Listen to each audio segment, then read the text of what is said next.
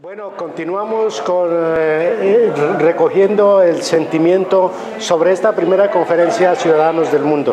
En este momento nos encontramos con Víctor Hugo Ordóñez Garega de Bolivia. Eres presidente de la Confederación Española de Inmigrantes, CEIN. Lo tenemos aquí como uno de los representantes precisamente de, ese país andino de Bolivia. ¿Cómo ve usted, don, don, Víctor Hugo, el surgimiento de este movimiento de ciudadanos del mundo que irrumpe con fuerza en todo el ámbito eh, mundial?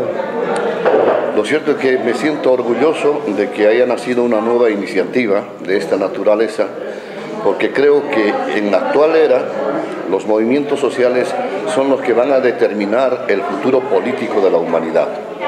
Los movimientos sociales como este de Ciudadanos del Mundo pueden dar las líneas maestras para adoptar más políticas sociales en beneficio de los ciudadanos del mundo, defendiendo sus intereses y sobre todo protegiendo la seguridad ciudadana que debe tener en cualquier parte del mundo un individuo. Esto de, de, que las fronteras caigan, de que los muros caigan, ¿lo ve usted posible eh, o es un sueño, es una utopía más de la humanidad que en este momento mm. está en boga? No, por el contrario, es algo que permanentemente nos va a ir dividiendo. No olvidemos que en España, donde vivimos, existe el muro de, de, de Melilla y Ceuta, que no tiene ninguna diferencia como el muro de Berlín con el muro de China o con el muro en Arizona, en, en Texas. ¿va?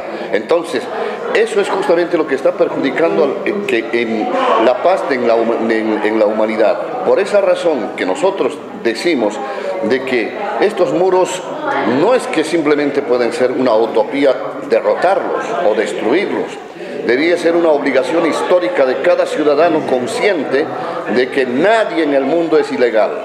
Ustedes en Bolivia tienen el problema de la salida al mar también, ese gran muro. Indudablemente es un muro intangible es un muro intangible que lamentablemente no solamente nos limita la locomoción y el comercio internacional, sino también limita nuestra soberanía jurídica, porque allá, allá en allende los mares no podemos ejercitar un derecho constitucional que a nosotros nos corresponde como todo país con salida al mar. Bueno, este son las, palabras, las palabras de Víctor. Muchas gracias, por atender esta solicitud.